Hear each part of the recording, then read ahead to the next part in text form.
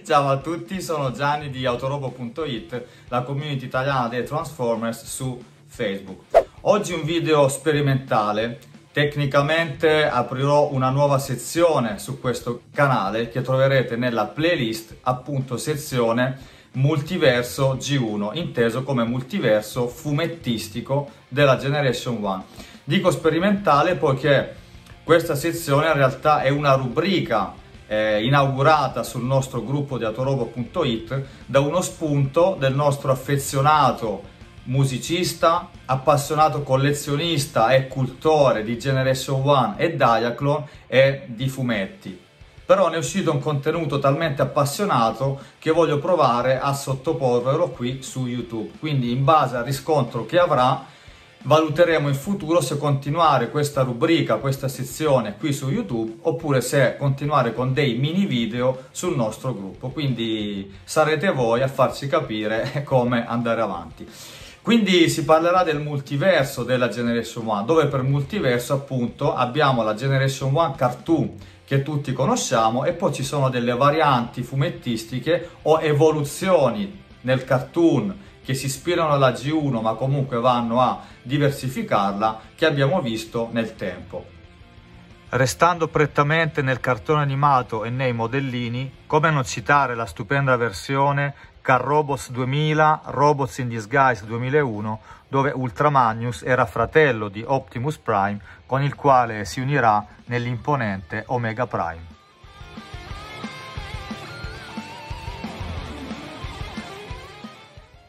Altra stupenda versione, quella animated, dove il nostro Ultramagnus è governatore di Cybertron, potentissimo con il suo martello alla Thor, comandante della Guardia d'Elite.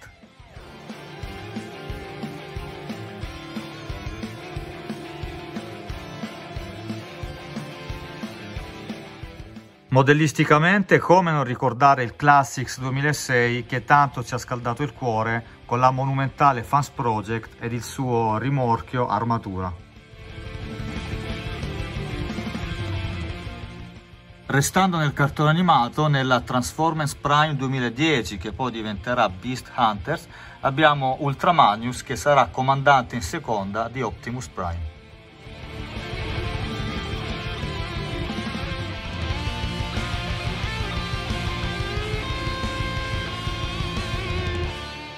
Completamente stravolto il personaggio in una versione dei fumetti IDW dove il personaggio di Ultramanius purtroppo morirà e ne verrà ricavata una sorta di armatura drone guidata in questo caso dal personaggio Minimus Ambus rappresentato in questo modellino della Combiner Wars 2015.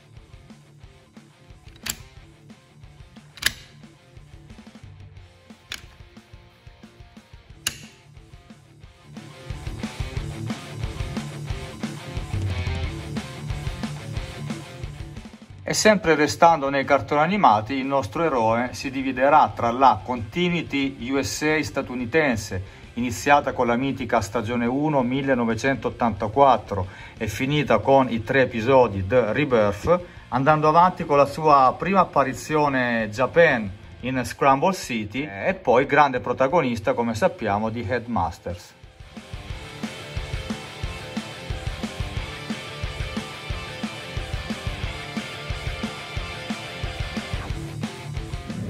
Ed ora vi invito ad ascoltare attentamente lo stupendo racconto fumettistico del nostro Achille. Vi assicuro che vi arriverà tutto l'entusiasmo, vi arriverà quanto lui crede in ciò che legge eh, e quindi ci sarà proprio questa bella sensazione di credibilità e per quanto mi riguarda eh, viene proprio la voglia di vedere presto un cartone animato o un film proprio sulle vicende che narrerà il nostro Achille. Quindi vai Achille, facci sognare.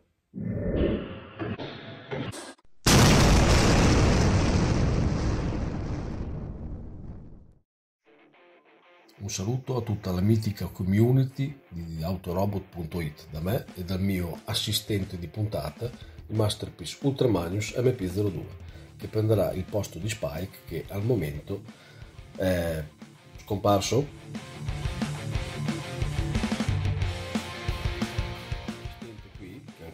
fatto niente, mi tocca sempre fare tutto a me, poi darò anche te in pasto i Dinobots, ha comunque appena suonato una reinterpretazione in chiave metal di quella che è la nostra colonna sonora preferita di tutti i tempi. Un eh, sound decisamente più aggressivo, come altresì sono più cruente e metal sanguinose le vicissitudini dei Transformers narrate all'interno di queste mitiche tavole di fumetti rispetto a quelle che sono le storie del cartone animato. Per chi si fosse perso il primo video dove veniva presentata la rubrica dedicata al multiverso fumettistico della Generation One, invito ovviamente ad andare nell'apposito contenitore di pagina a recuperare il video, spieghiamo brevemente di cosa tratterà questa rubrica. Sappiamo che esistono due universi paralleli tra il cartone animato della Generation One creato dalla Sambao e i fumetti dedicati sempre ai personaggi della G1 creati dalla Marvel o della, dalla Dreamwave. Non ci interessano tanto le differenze di episodi e di eventi narrati, bensì quanto la diversità con la quale molti personaggi sono stati presentati all'interno del fumetto.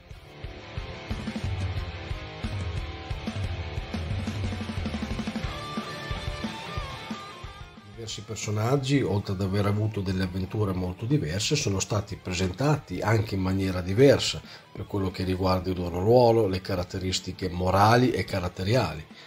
Ad alcuni, se non hanno trovato spazio all'interno del cartone, lo hanno trovato all'interno delle storie dei fumetti e alcuni, in particolare come il personaggio che andremo ad esaminare oggi, avranno finalmente quel ruolo di spicco non opacizzato, non oscurato da altri Transformers che magari nel cartone animato era stato lasciato di intendere, ma poi per quel che riguarda lo sviluppo nulla di fatto. Andiamo comunque a vedere qual è il personaggio che sarà il protagonista del nostro episodio. Nel caso della sigla qualcuno di voi ancora non l'avesse capito, il personaggio di cui parleremo oggi è Ultramagnus.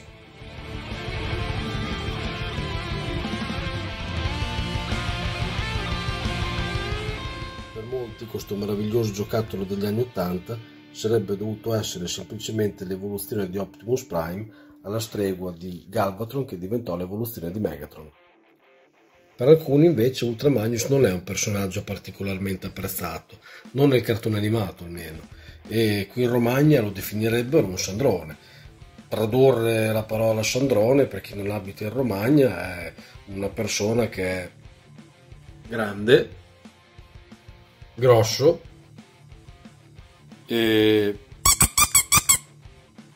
per altri come me invece questo titanico, possente e corazzato comandante degli Autobots sarebbe stato il più giusto erede di Optimus Prime, il più degno detentore della matrice del comando, un giocattolo fighissimo con gli stessi colori della divisa di Captain America.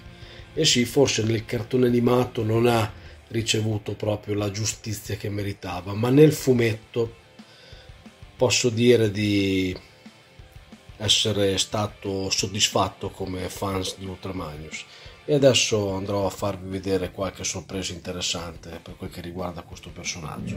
Questa miniserie di tre numeri della Dreamwave risalente ai primi anni 2000 ed è intitolata Guerra e Pace. Ci saranno ovviamente degli spoiler per chi non dovesse aver letto questi fumetti, anche se alcuni tratti narrativi verranno omessi perché guarda caso saranno presi in esame nel prossimo episodio della rubrica quando parleremo di un altro Transformers e delle sue vicissitudini all'interno dei fumetti. Cercate per quel che vi è possibile di immaginare una Cybertron circa ai giorni nostri dove la guerra è finita, sono tornate energia, ricchezza, pace. Le vecchie fazioni Autobots e Decepticon sono state abolite e gli estremisti da entrambi i lati sono dichiarati criminali di guerra, vengono imprigionati o ricondizionati o addirittura giustiziati nelle fonderie ed esistono solo i cybertroniani, dei quali a capo del potere politico troviamo uno shockwave apparentemente pacifico, il quale operato viene comunque sorvegliato dal Consiglio degli Autobots, e generale incontrastato delle forze armate del pianeta è ovviamente Ultramagnus. Troveremo un Optimus Prime sconfitto, più arrendevole, rassegnato.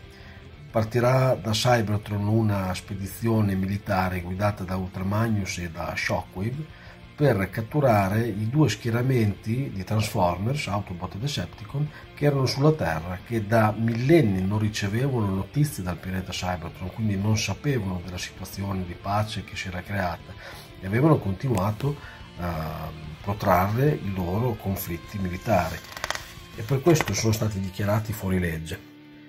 Nelle file di soldati di Ultramagnus, nella sua spedizione militare, ci sono anche dei Decepticon che lui, ehm, nonostante eh, siano stati ricondizionati, dovrà eh, addestrare alla calma militare, diciamo così, con le maniere forti. Infatti qui si vede un um, Blitzwing che voleva aggredire gli Autobots che si erano arresi senza fare troppe storie e lui in maniera possente, proprio gli gira un braccio, lo schianta per terra, voglio dire è un carro armato, è un jet da combattimento, ma Ultramagnus con molta facilità gli fa vedere chi è più forte e che se lui è a comando c'è un motivo.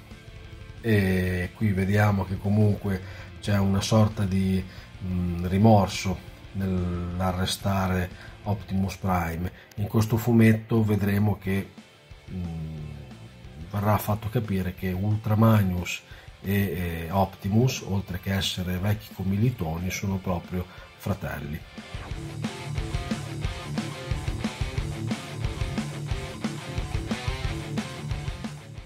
Durante l'arresto degli Autobots terrestri e il loro trasporto su Cybertron, Optimus Prime sì, si sarà arreso, ma questo non vuol dire che debba abbassare la testa, infatti anche lui darà una ripassata a Blitzwing e ci sarà l'intervento di Ultramagnus che comunque dovrà far valere il suo grado militare e eh, la funzione di eh, comandante mandato ad arrestare gli Autobots dichiarati di crimini di guerra. Optimus colpirà anche Ultramagnus, ma seppur il colpo sarà potentissimo, non sortirà un grande effetto se non eh, un po' di rabbia da parte di, di Magnus. E, questa immagine, quello che viene detto da Magnus in queste tavole di fumetto, lascia intuire che non ci sarà, come nel cartone, un ruolo di sudditanza di Magnus nei confronti di Optimus, ma più che altro un ruolo alla pari in eh, situazioni diverse che adesso andremo a vedere.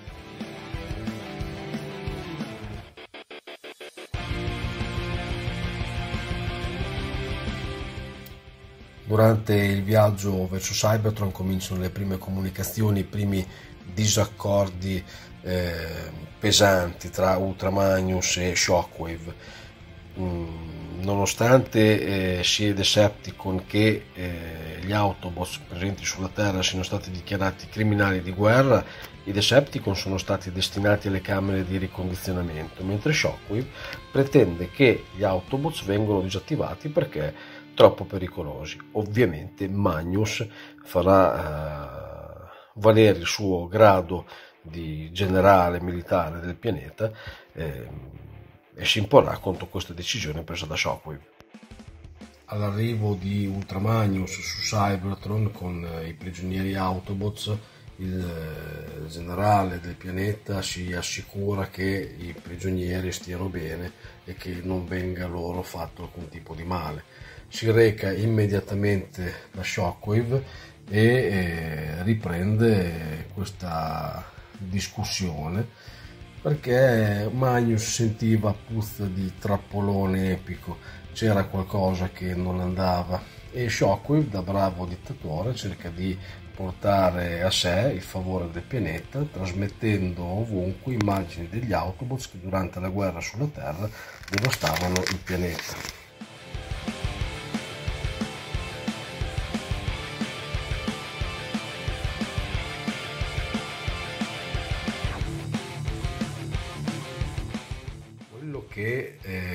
Ultramanius, il consiglio Autobots e Shockwave non sospettano neanche lontanamente è che la cattura degli Autobots che presenti sulla Terra, considerati come criminali di guerra, avrebbe avuto una sorta di effetto domino che avrebbe trasformato la rinnovata e pacifica Cybertron in un pianeta nuovamente in guerra su moltissimi fronti che Ultramanius avrebbe dovuto gestire con risorse sempre più limitate. Mentre le forze di Prime si uniscono ad altri Autobots presenti sul pianeta che hanno risvegliato le proprie coscienze e stanno dando inizio ad una rivoluzione che sconvolgerà il pianeta, Optimus si reca direttamente in questo quartier generale Autobots nascosto nel deserto, dove questi giovani Transformers stanno da tempo preparandosi per muovere guerra contro Shockwave.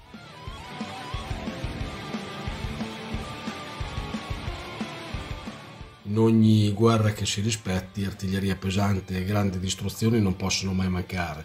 Infatti Dinobots, giunti dalla Terra a bordo di un'astronave Decepticon rubata per aiutare Optimus e gli altri, cominceranno a devastare la capitale del pianeta, Ayakon, ferendo lo stesso Shockwave, che farà mobilitare le sentinelle come Omega Supreme per sedare tutte le ribellioni e farà preparare le fonderie dove i Transformers venivano uccisi tra grandi sofferenze facendoli immergere nell'acciaio fuso.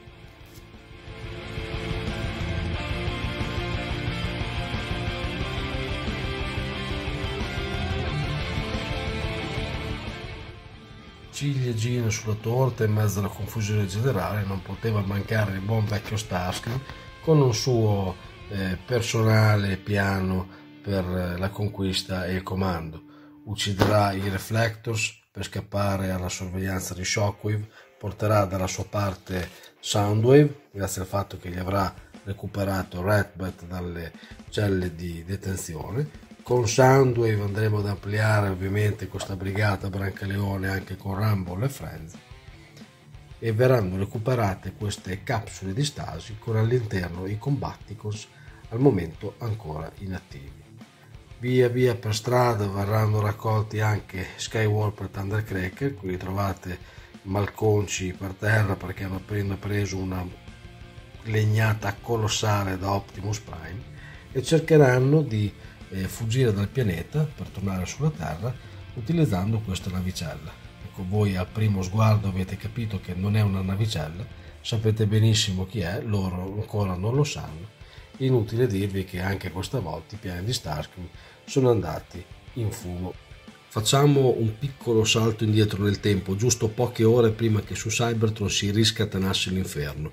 Qui siamo davanti alle sale di detenzione dove Shockwave ha rinchiuso i Transformers, in modo particolare i Decepticon, che erano troppo pericolosi per essere controllati e lasciati in libertà. Stiamo parlando ovviamente dei Combiners. A guardia del cancello principale troviamo, anche se in piccolo, due dei tre Omnibots, gli Autobots a tripla trasformazione. Al suo interno invece sono riusciti ad entrare di nascosto Rumble e Frenzy, mandati da Shockwave in missione segreta per liberare gli Stanticons. Lo scopo di Shockwave fondamentalmente è creare confusione e distruzione in modo da distrarre Magnus e le sue truppe da Optimus Prime e gli altri Autobots della Terra che sono riusciti a scappare e dalla ribellione che sta per partire.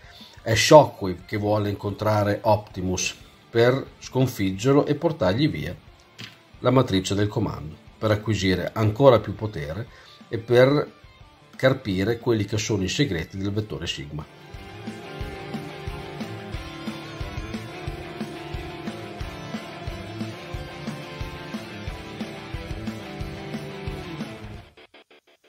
Nel frattempo, Perceptor e Ultramanius stanno cercando di persuadere il consiglio degli Autobots ad avviare delle indagini contro Shockwave e cercare di capire che cosa sta succedendo. Manius vuole spodestare il monarca di Cybertron, ma il consiglio degli Autobots rimane fermo, immobile, cerca prove, dice che le sue accuse sono infondate. L'unico che lo appoggia è fondamentalmente Inferno, mentre Red Alert, Skids e um, Grapple rimangono fermi, immobili. Mi ricordano molto il consiglio di Mass Effect, non so se qualcuno di voi conosce quel bel videogioco, eh, agiscono soltanto quando ormai è troppo tardi, ma è già troppo tardi perché gli Stanticons, come abbiamo visto, si sono liberati e stanno devastando tutto quello che incontrano sul loro cammino.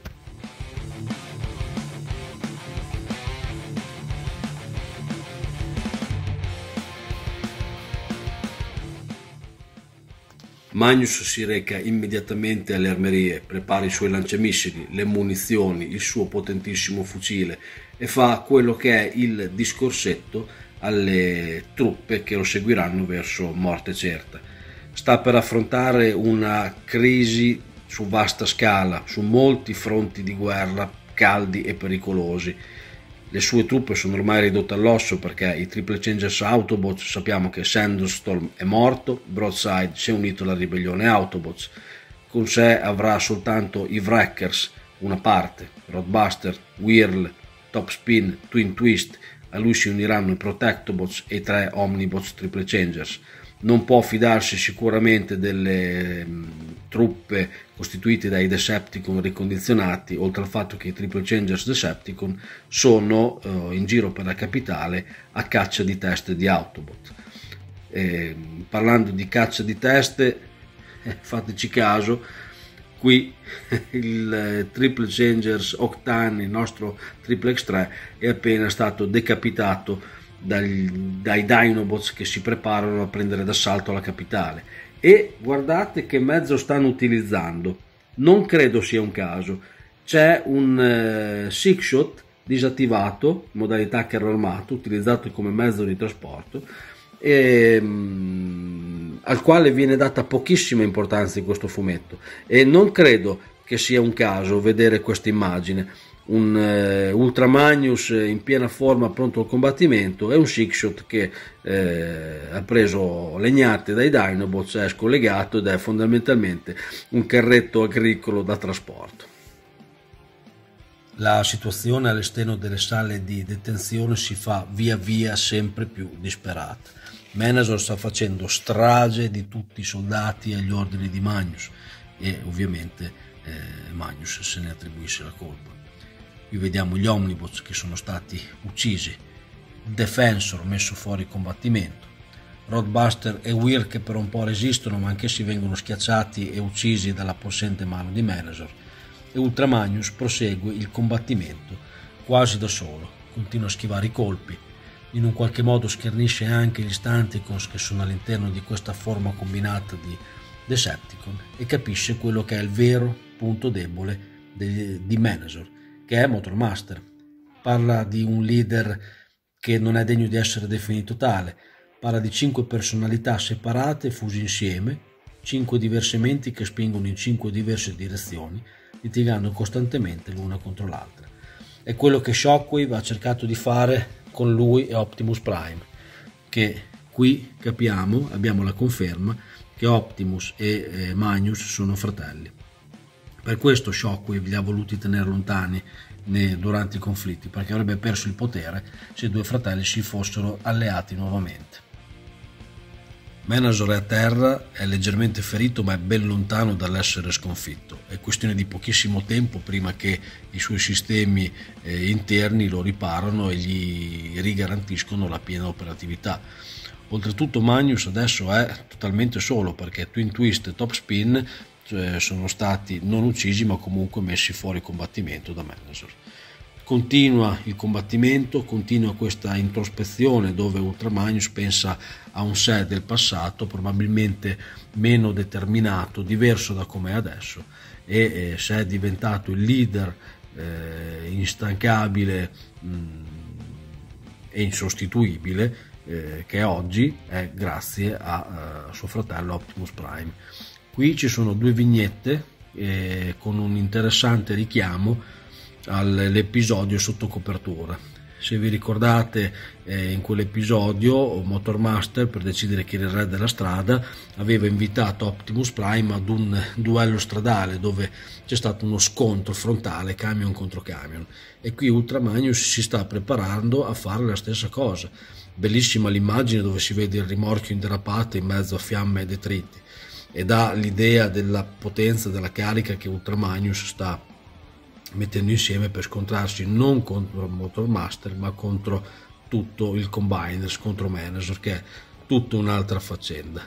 Altro richiamo interessante del cartone animato come Optimus Prime eh, durante la battaglia di Autorobot City investiva i Decepticon uno dopo l'altro, si vedeva il loro riflesso nella eh, griglia cromata del camion, qui si vede il riflesso di Manager nello, nel vetro della cabina del camion. Ora, altra vignetta, qui, qui rende l'idea della velocità che ha eh, preso Ultra Magnus per prendere una rincorsa su un cumulo di detriti e bam, una vignetta bellissima mi piace come è disegnato il camion molto eh, stile riprende, riprende, proprio il giocattolo della G1 guardate il rimorchio la parte superiore e qui Manager viene ucciso e distrutto da una botta colossale di Ultra Magnus che non esce certo indenne ma eh, comunque sopravvive e vince questo scontro. Vi faccio notare che eh, gli unici due Transformers che hanno eh, sconfitto fisicamente con la semplice forza brutta un Combiners sono stati Ultramagnus contro Menazor e Optimus Prime contro Devastator in un fumetto che magari vedremo in un episodio un po' più avanti. Qui eh, Roadbuster e Whirl sono sopravvissuti e viene trovata una delle armi dei cassette bots di eh, Soundwave e quindi capiscono che c'è lo zampino di Shockwave dietro la liberazione dei, degli Stanticons, sicuramente per allontanarli da Optimus e gli altri Autobots. Proseguono anche gli scontri nella capitale, i Dinobots si sono temporaneamente divisi, eh, Grimlock è andato a cercare Shockwave e intanto i restanti quattro Dinobots, mentre eh, radono al suolo quello che rimane di Iacon City, vengono aggrediti da, se riconoscete l'artiglio, questo è l'artiglio di una sentinella di Omega Supreme e ovviamente vengono eh, sconfitti. Nel frattempo Grimlock le sta suonando di santa ragione a Blitzwing e Shockwave contemporaneamente, ma Magnus, che è andato a cercare Shockwave per interrogarlo su ciò che è appena avvenuto all'esterno delle sale di detenzione, colpisce con uno dei suoi missili Grimlock in pieno volto, disattivandolo, mettendolo fuori combattimento. È in pessime condizioni, ovviamente non è morto e qui vediamo il classico Blitzwing che fa lo spaccone che adesso è facile mettere a tacere Grimlock che va in stand by la situazione su Cybertron peggiora a vista d'occhio. Omega Supreme e le altre sentinelle sono state inviate da Shockwave in supporto delle sue truppe militari, ormai costituite soltanto dai Decepticon ricondizionati, perché Optimus Prime è stato messo in mondovisione dagli Autobot ribelli e ha contattato tutte le forze Autobot del pianeta e sta ora gestendo una ribellione su vasta scala e con le sue truppe si sta avvicinando sempre più al palazzo del trono di Shockwave. Nel frattempo Ultra Magnus si assicura che Perceptor rimetta in funzione i Dinobots convinto di averne bisogno di lì a poco e a sua volta va al palazzo del trono per interrogare il tiranno su quello che è ormai il suo evidente tradimento scoperto dopo la liberazione degli Stanticon dalle sale di detenzione. Magnus e Shockwave hanno un'accesa discussione dove Shockwave ancora eh, si ostina a negare l'evidenza del suo tradimento. Magnus ovviamente non crede alle sue parole e avverte Shockwave che alla fine della crisi della ribellione sarebbe tornato per lui per eh, fondamentalmente deporlo dal trono sul quale si era seduto. L'errore di Magnus è stato quello di voltare le spalle a Shockwave che ovviamente lo colpisce a morte. La battaglia all'esterno del palazzo continua ad imperversare furiosamente. Optimus Prime, nonostante abbia una gravissima ferita, riesce a sorpassare eh, l'ultima sentinella che si frapponeva fra lui e il palazzo, lasciandola agli altri Autobots. All'ingresso trova Skywarp, Thundercracker, due mini spies, li investe tutti e malmenando ed interrogando Skywarp si fa indicare la uh, posizione di Shockwave.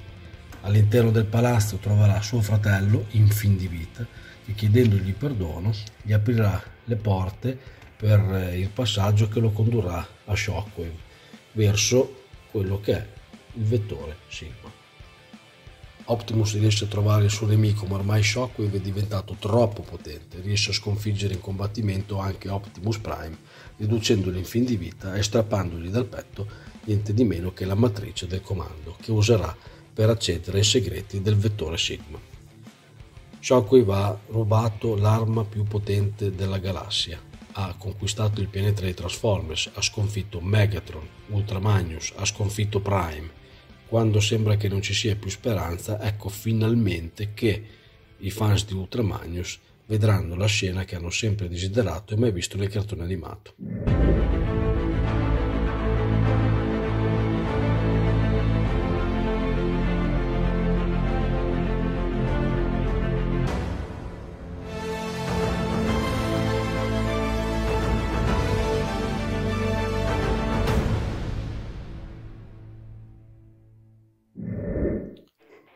La battaglia all'esterno comincia a mettersi male per gli Autobots e finalmente all'ultimo minuto anche il consiglio degli Autobots decide di scendere in guerra contro Shockwave e i Decepticon.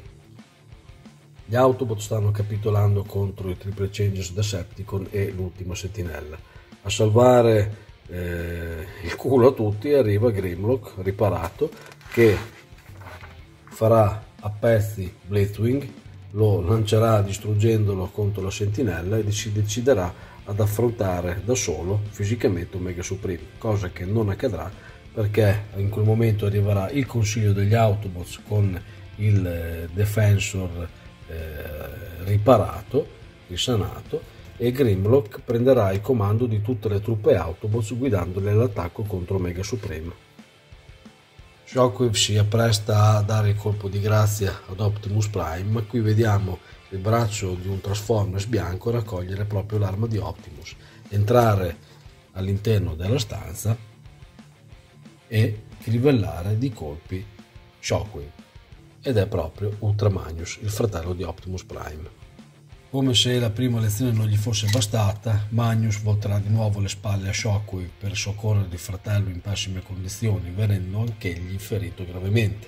Questo non impedirà ovviamente un eh, bellissimo combattimento tra i due, inizialmente apparentemente vinto da Shockwave, ma alla fine Magnus avrà la meglio e riuscirà a scaraventare eh, Shockwave giù nel baratro Optimus ferrerà il fratello, ma non riuscendo a tirarlo su, i due saranno finalmente soccorsi da Grimlock che all'esterno ha coordinato le ultime fasi della battaglia. Salvati i due fratelli, recuperata la matrice, liberato il pianeta, gli Autobot trionferanno nuovamente su Cybertron contro i Decepticon. Ci sono moltissimi altri fumetti che parlano in maniera interessante e diversa di Ultramagnus rispetto a quello che era il cartone animato, come questo che anche se datato per me rimane bellissimo come bellissimi sono i suoi disegni. Oggi non avremo il tempo di esaminarlo perché ci siamo dilungati anche troppo e se ce ne sarà richiesta potremo fare un episodio dedicato a questo fumetto intitolato Target 2006 dove Galvatron per conquistare il eh, potere nel futuro va nel passato per uccidere tutti gli Autobots e Decepticon e Ultramagnus sarà spedito nel passato per dare la caccia a Galvatron e impedire di realizzare i suoi piani. Con la rubrica del multiverso fumettistico della Generation 1 per oggi è tutto, ci vediamo al prossimo episodio. Ciao! Spero che vi sia arrivata tutta la passione che abbiamo riversato anche in questo video e che vi siate emozionati un po' insieme a noi. Io vi do appuntamento ai prossimi video e vi invito ad iscrivervi al canale ed a lasciare un bel like. Vi ringrazio tutti, vi saluto e come sempre ricordiamo che la fantasia nutre e rende l'anima eternamente giovane.